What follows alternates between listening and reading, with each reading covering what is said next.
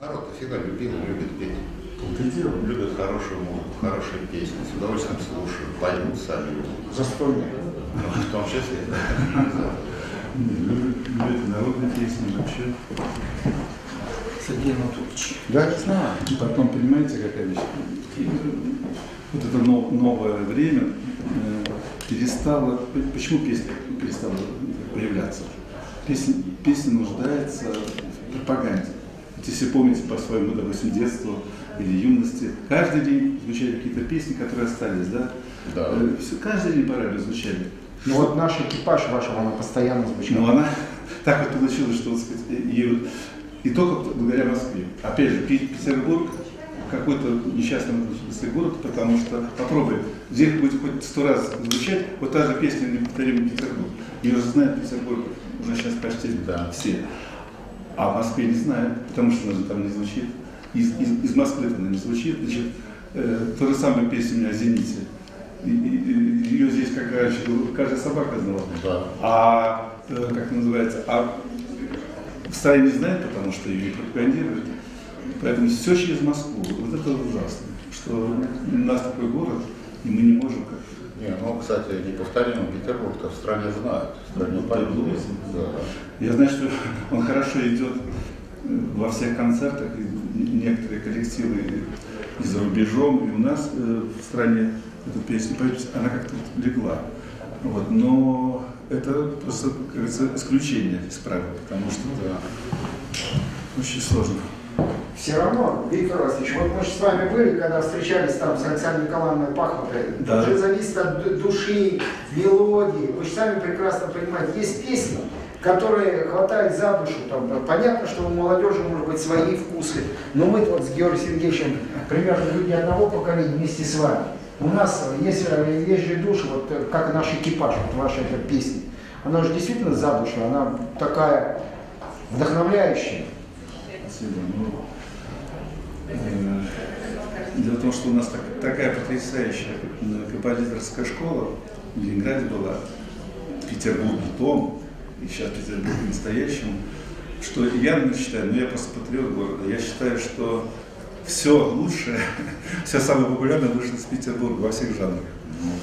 За какие бы, а, все лучшие песни Гунаевский здесь писал, все лучшие песни Соловьев Седой здесь писал, все лучшие песни Петров здесь писал. Понимаете? И ну, что, что может быть лучше этих песен? Москва там кое-что тоже добавила. Конечно, Пахмутова это из ряда вон выходящее явление, потому что, ну не знаю, как так, такого, такого роста женщина нужно такие потрясающие масштабные вещи. А вот Александр Морозов, мне он очень нравится, он в Да. Смоленск уехал, да? Э, Дело в том, что Александр Морозов, он вообще такой человек мира, потому что он родился в э, Молдавии, учился здесь, женился здесь и начинал путь здесь. Начинал тоже здесь, да. У него песни, песни у него поют в переходе. Это уже говорит о том, что они стали народными. В переходе, если поют песни, значит все. Вот. Но у него судьба, он, он из детского дома. Он в Смоленск переехал, да, сказал. Но то, что его песни хватает за душу, это факт. Он редко появляется на экране телевизора. Понятно, там своя тусовка. Мы тоже это все видим. Да, Да, да.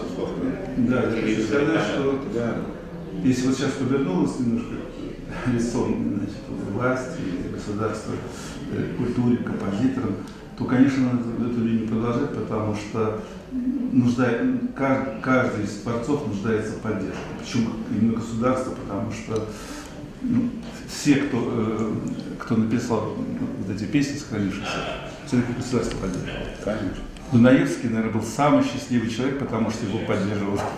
Сталин. Да, да, да, да. Э, То же самое Слава Седой. А вы знаете, самая моя любимая история про Слава Седова? Сергей Анатольевич, Да ладно. заметьте, подобающее великим людям место. Можно сделать общий? Сочтем за честь. Я фанатик этих самых фотографических дел. А. это мой остался. Я хотел рассказать самую мою любимую байку про Слава Седова, про песню «Подмосковные вечера». Я ее пропагандирую уже много лет. Я слышал ее из самого Василия Павловича. Значит, когда он написал песню «Подмосковные вечера», Э, Это было сделано для, э, для кинофильма «Вниз Спартакиада», а его друг был директором этой студии в Москве. То есть там написал несколько песен, все прошли, кроме подмосковного вечера. Он говорит, Вася, такой хороший композитор, что ты написал? Такую песню я могу написать.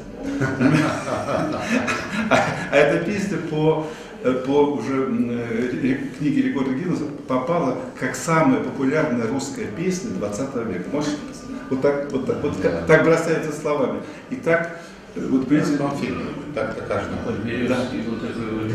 И вот такой вот, Так, так и я. Мы от страны пошли тогда, подмосковные вечера номер один, танец с Анной Хачатуряна, да, и, и Катюша Бандера. Все, что это звучало по всему миру и неизменно э, поделялось как символ страны, Но понимаешь? говорят, сначала были не подмосковные вечера, да? Это уже, вот это байки я уже не знаю. Потому что Спартакиада, что в Москве. Это наш уже потом ленинградские вечера. Не придумали. Да, придумали. Дело в том, что все-таки, опять же, мое кредо, песня только тогда, может быть, песня, когда афористически, понятны каждое, каждое слово стихи. И были, и были же потрясающие мастера. И у нас в Ленинграде, в Петербурге, ну и в Москве, которые это все умели. Помните эту песню, да? Старый Леонов, Матусовский написал с мамой, да? Ну, там такие простые слова, но сколько там глубины, да, потрясающие, сколько образов. Ну, это, это, в общем, все шедевры, все, все написаны на великолепные слова. А а Фагельсон, это Тоже матросские дочки. Нет, а его, его, его же, да, на- бы, нам бы, Я нам бы, нам бы, всем, ну, это же он написал. То есть, откуда такой, такой секрет? Вам можно. Дело в том, что в основном композиторы, в основном композиторы пишут э, на готовый текст. А были такие люди, в том числе Александр Николаевич Бахман, которые сначала пишут сначала мелодию. Андрей Павлович Петров говорил так. Я э, должен написать такую мелодию, чтобы можно было ее сыграть в оркестре. Вот, а после этого уже будет песня. И вот поэтому нам бы, нам бы, нам бы, нам бы, нам бы». это была оркестровая пьеса, а уже Фагельсон по- потекстовал, уже сделал. и никогда не поймешь, Это где слова были, а где, Это, это революция, а твист в фильме. нет, просто это, конечно, очень. Ну, Баб- Бабаджанян ни одной не написал песни на слова, только по текстовке. Причем гениальный там Тушенко его протекстовал там, и так далее. Так что, в общем, конечно, кухня очень, очень простая, но зато интересно, когда из ничего вдруг была какая-то мелодия, вдруг стала песней. Вознесенский мне рассказал, что это было очень трудное время материально. И вот э, ему подсказал тот же Роберт Рождественский, Андрей, пиши песни, они спался, барабан был, да, и на Особенно- лыжах это Особенно миллион это Алых алых роз, все. Казалось бы, он совершенно не песенник, да, Андрей, а вот э, получилось, и стало это очень популярно. Ну, были потрясающие. Рождественский писал. Они же сами по себе же там, бы, Вознесенский. это же не просто, так сказать, только Ахмадулина. Представляете, как- какие были поэты, супер поэты.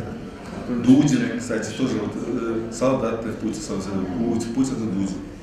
Так что очень... И еще одна замечательная песня, когда мы его отмечаем в юбилее, а вот, кстати, столетие приближается, кажется, в 16 Кому? Дудин. В 16 дочка там готовится в Москве, знаю. Так э, вот этих э, снегири, снегири, которые Антонов написал, Они стали в 90-е. а? Что в 16 веке. Виктор, А? Виктор Алексеевич, скажите, пожалуйста, почему у нас сейчас, давайте мы прямо говорим, государство надо укреплять, оно сильно своей идеологией. Почему у нас мало песен, после которых послушаешь и сразу хочется, вот, ну, я не говорю, но воспитывать, которые воспитывают, которые вот отрезвляют, которые вот Они становятся... есть, но их нужно пропагандировать. Здесь бич. Дмитрий Ильич Шарапов, главный дирижер Андреевского оркестра, может, руководитель. Сегодняшний наш главный шеф. да. А что у нас? Ну, третьего звонка еще не было. Нет, еще нет. Положенные театральные пять минут, еще у нас кто Вот оркестр с Виктором Васильевичем активно сотрудничает, много проектов, я надеюсь, что много Ну, интересного. знаете, сейчас такой проект, это вообще потрясающе. Мы сейчас, как говорится, замахнулись, замахнулись на лето, на песню Цеховашин. Это потрясающе. Да, это серьезно. Будет оратория минут на 40, кратенько. Вот. Но это будет серьезное такое сочинение,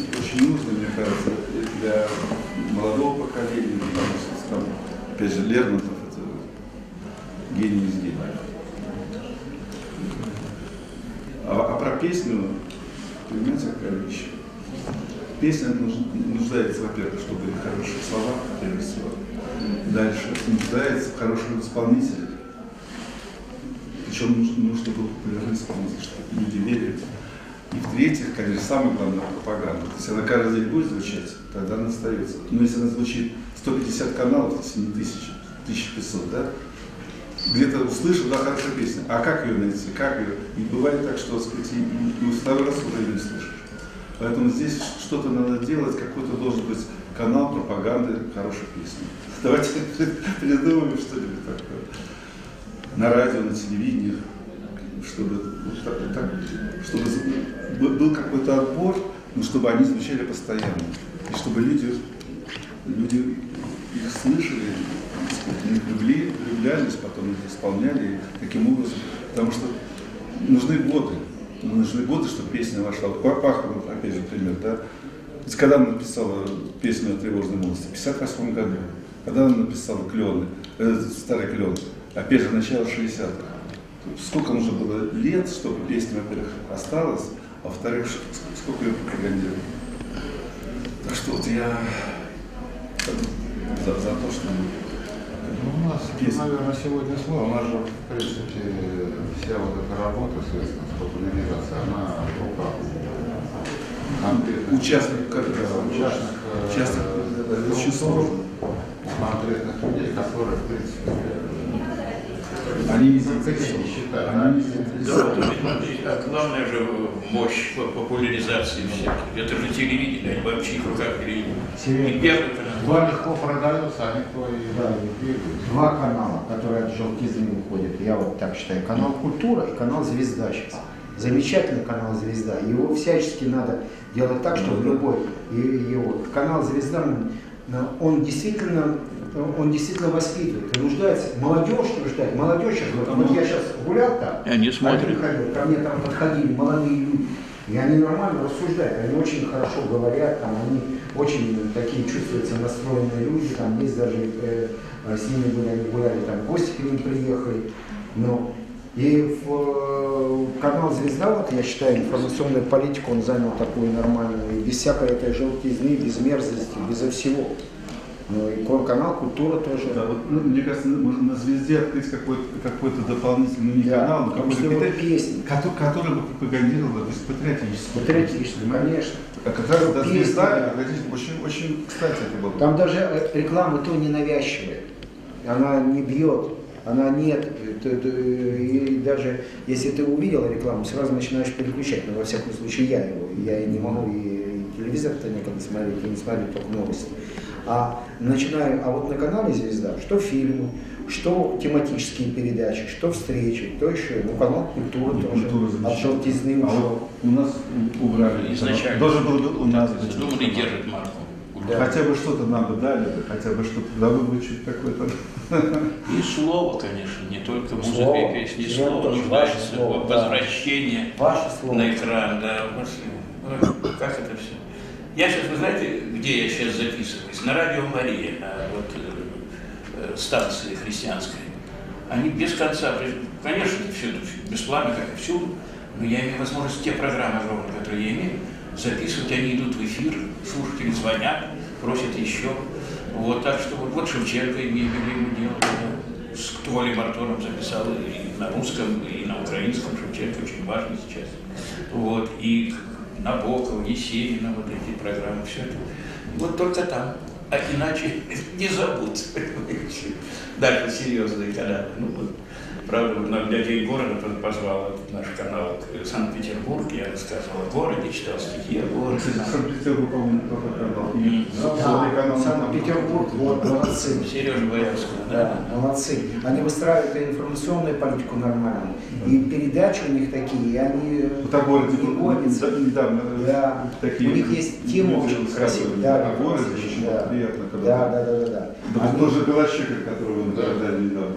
Он так говорил, с таким сердцем говорил о городе, показывал свои, свои любимые места и так далее.